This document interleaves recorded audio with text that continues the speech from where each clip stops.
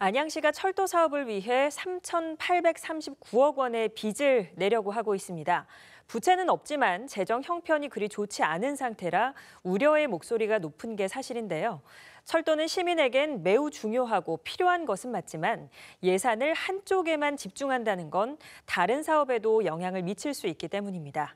안양시 의회 도시건설위원회는 시 재정 운용에 깊은 우려를 나타내며 지방채 발행 동의안을 가결했습니다. 이창호 기자의 보도입니다. 안양시는 세계 철도 사업의 재정 안정화 기금과 지방채를 부담할 생각입니다. 재정 안정화 기금 1,800억 원을 우선 투입하고 내년부터 2029년까지 3,839억 원의 지방채를 발행할 계획입니다. 지방채 상환은 5년 거치 10년 상환 방식으로 시는 매년 남는 예산과 특별 교부세 등의 외부 재원을 최대한 활용해 상환할 예정입니다. 일반 회계 순세계 잉여금이 한 10% 이상을 갖다가 채무에 상환할 수 있도록 그렇게 재정 담당 부서하고 좀 얘기를 됐습니다. 그리고 또 이제 세외 수입이 발생됐을 때 채무 상환을 우선적으로 고려하도록 그렇게 하고 있고요. 저희 사업부서에서는 특별 교부세라든지 특별 조정 교부금 등을 포함한 외부 재원을 좀 적극적으로 확보하는 방을 강구하고 있습니다. 하지만 지방채 상환은 해를 거듭할수록 시에 부담이 될 수밖에 없습니다. 안양시는 2025년 645억 원, 2026년 816억 원, 2027년 909억 원, 2028년 1065억 원, 2029년 404억 원의 지방채를 발행할 계획입니다. 이렇게 되면 원금 상환이 시작되는 2030년엔 645억 원이지만 2031년엔 1,461억 원, 2032년 2,370억 원, 2033년 3,435억 원, 2034년에는 3,839억 원으로 상환액은 계속 불어나게 됩니다.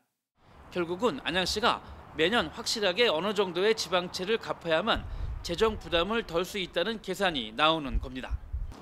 철도 사업비 지방채 발행 동의안을 살펴보고 있는 시의회도 지방채 상환 시간이 오래 걸릴 것이란 우려를 나타냈습니다. 근데 이제 그만큼 안양시에 막대한 예산이 들어가고 이 부분들이 사실은 후 이제 지금 어 몇년 좀 저기 상환하려면 이게 사실 언제까지 걸릴지 기약할 수가 없어요. 지금 부동산 상황이나 어떤 어 세수와 관련해서 어떤 전체적으로 어려운 상황인데 때로는 빚을 내기도 하고 가정 살림이든 또 시 살림이든 마찬가지인데요.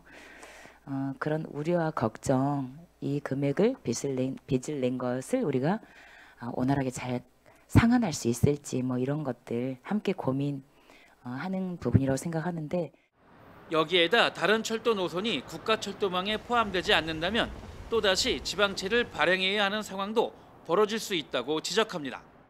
지금까지는 네 개가 다 반영이 안 돼서 우리 시 예산이 들어가는 거 아니에요. 제 얘기는 그 걱정돼서 얘기하는 거예요.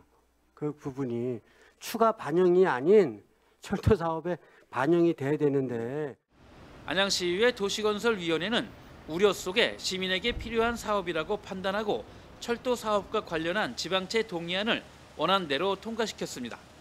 시는 21일 열리는 시의회 본회의에서 동의안이 최종 의결되면 지방채 발행 절차에 들어갈 예정입니다.